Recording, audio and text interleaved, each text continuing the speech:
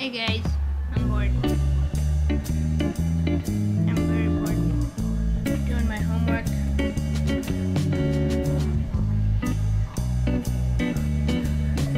As you can see,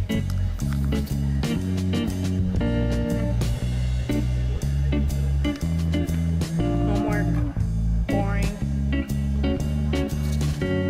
It's a Thursday night. 842. I'm bored. I just wanted to make a video. My airsoft gun. Oh wait, here's what I going show you guys.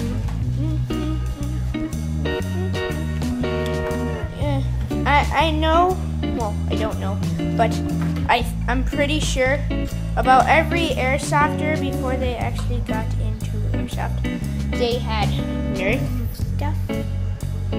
So, um, I found a, uh, a cheap sling that you can just go buy at the store. It's pretty good. I, I haven't used it in my arena, but but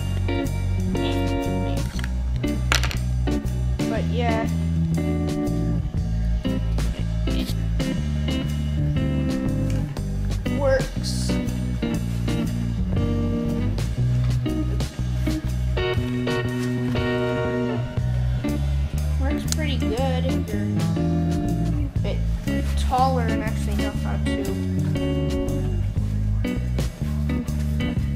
adjust it for comfort. Because I never use it. See?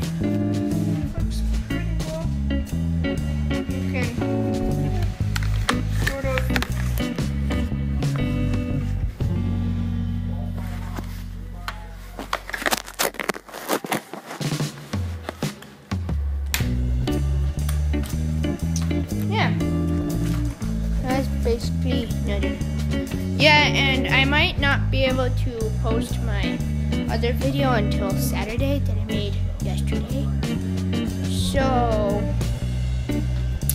yeah, there's puppy. Say hi, Will. He's like, no. No. Uh, that's basically it. I just wanted to make a video for the sake of making a video. So, I can tell you guys that the next video I will be posting will be maybe at 9 o'clock. Posted maybe at 9 o'clock. You see, 8.44. No. And yeah. So I'm just gonna tell you guys the next video that basically is 21 minutes long, but a bit longer. A bit longer than this one, but it's not really an update. Uh, for just to tell you that the video might be a little bit late.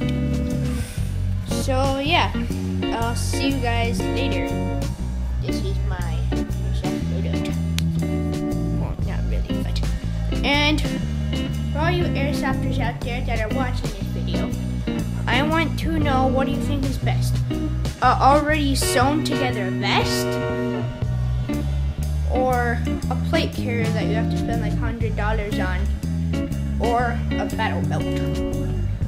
For me, which I'm basically a runner that runs. So let's say it's right there.